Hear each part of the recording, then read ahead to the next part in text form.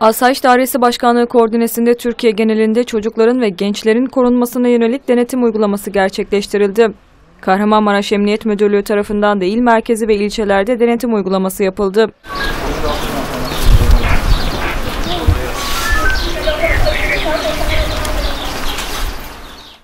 ...15 Mayıs günü Türkiye geneli çocukların ve gençlerin korunmasına yönelik denetim uygulaması kapsamında 11-15 saatler arasında tüm okul çevrelerinde ve yakınlarında bulunan park ve bahçeler, alkol ve tütün satışı yapılan yerler, iddia ve ganyan bayileri, kahvehaneler, internet oyun salonlarına yönelik 20-23 saatler arasında üniversite ve kampüs dışında bulunan öğrenci yurtları ve çevresinde faaliyet gösteren umuma açık yerlerde şüpheli şahıslar ve araçlar üzerinde yapılan denetim uygulamasında değişik suçlardan aranan 7 şahıs yakalandı.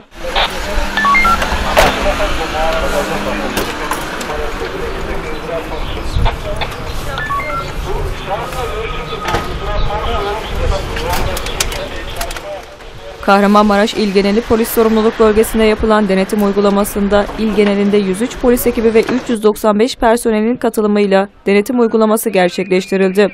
Denetim uygulamasında 2858 şahıs sorgulanırken 218 okul servisi, 94 park ve bahçe kontrol edildi. Burada yok ama. Burada da var.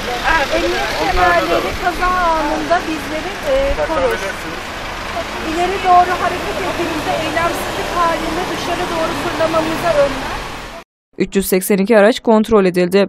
5 araca değişik ihlallerden 540 TL ceza tatbik edildi. 350 iş yeri, 299 okul çevresi kontrol edildi. Değişik suçlardan aranan 7 şahıs yakalandı. Bir şahsa kabahatler kanununa aykırı davranmaktan idari para cezası tatbik edildi.